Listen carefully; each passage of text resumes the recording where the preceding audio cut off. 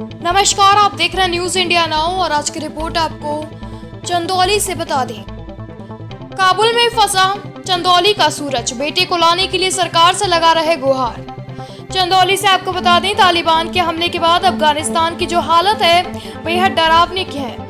और पूरे अफ़गानिस्तान में अफरा तफरी के हालात बने हुए हैं। लोग अपनी जान बचाने को दर दर भटक रहे हैं। वहीं अफ़गानिस्तान फंसे चंदौली की सूरज चौहान के घर में भी वह का माहौल है। घर के लोग डरे, सहमे हैं। पिता के आँसू रुकने का नाम नहीं ले रहे हैं। परिवार के लोग सरकार से अपने बेटे को सुरक्षित अपने घर वापस लाने की मांग कर रहे हैं। सूरज चौहान है ये बेटा।